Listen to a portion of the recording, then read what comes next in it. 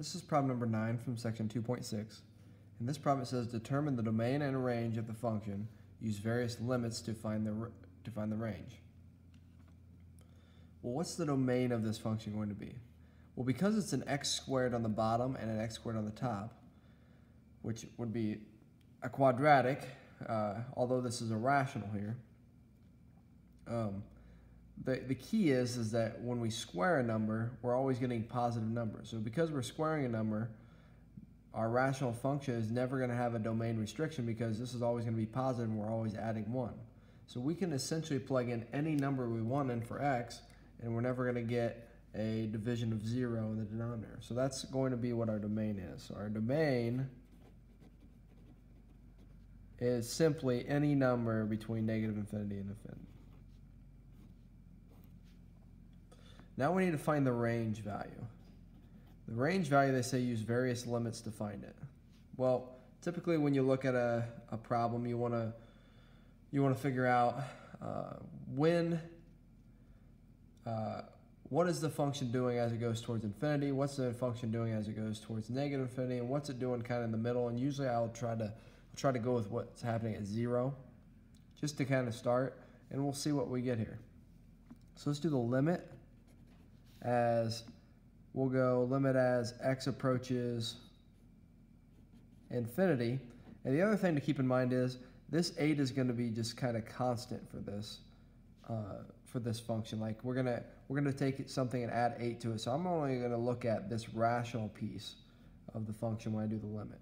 Because I want to know what is this what is this rational piece equaling as we approach infinity. I know that's 8. So 7x squared over x squared plus 1 that's one thing I'm to look at. Then we'll do the limit as x approaches negative infinity for that function. And then I'm also going to do the limit as x approaches 0 for this function.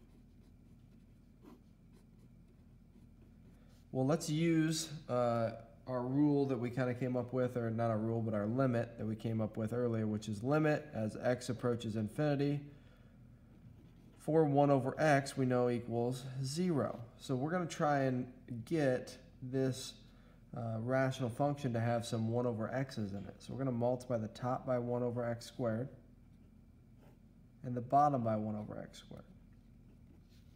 That's going to give you 7 on top over, on the bottom you end up with 1 plus 1 over x squared.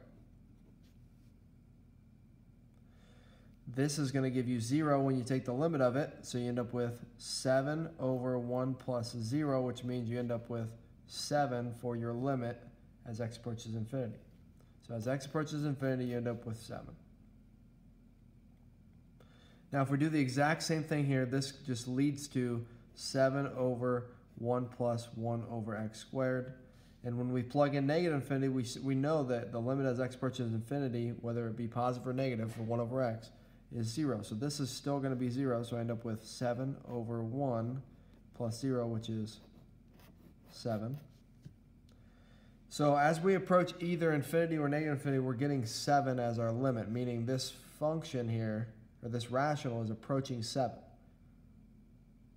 Well, if we think about that, then that means if this is approaching 7, 8 plus 7 is 15, so it's technically this whole y, or this whole function is approaching 15 in that case.